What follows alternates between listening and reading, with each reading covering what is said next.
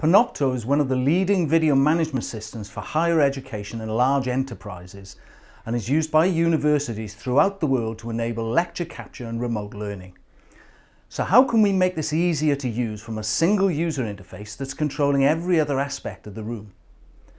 We've recently introduced a new control module that allows the Panopto solution to seamlessly integrate into the AMX environment. Here's an example of a typical touch panel using the module. As part of this user interface design, we have all the control functions you'd expect to see, but alongside these, the user has access to the main functions of the Panopto system. In this example, there's a calendar function where the user can see a list of scheduled sessions or search for a specific session. They then select the one they want and start the recording.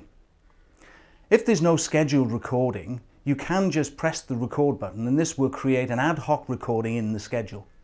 You can decide how long this recording is by using a fixed duration or by giving the user different options. When the recording is in progress, the indicator bar at the top of the panel turns from green to red. This helps to ensure that the person operating the system is clear that the session is now being recorded.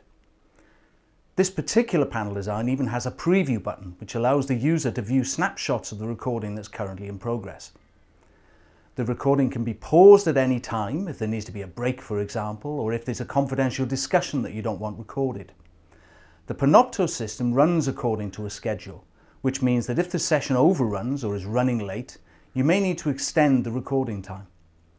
We've made this really simple by adding an extend button. In this example, we've set it to five minutes. So if you're running five minutes late, press the button once. If you're running 10 minutes late, press the button twice. The top bar in this panel design shows the remaining time for the recording, so it's easy to keep track of this.